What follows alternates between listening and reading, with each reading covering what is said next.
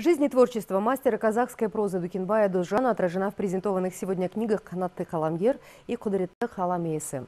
В одной воспоминания друзей и соратников об известном литераторе, в другой – так называемый стилистический анализ трудов мастера. Дукенбай Досжан внес огромный вклад в сокровищницу казахской прозы. 11 романов, 22 повести и более 100 рассказов.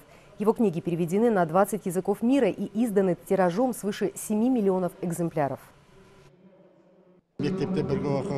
Как человек, который с Дукинбаем Дошаном вместе учился в школе, провел вместе молодость, могу сказать, он прославил себя через свой труд, а через свое творчество прославил казахский народ.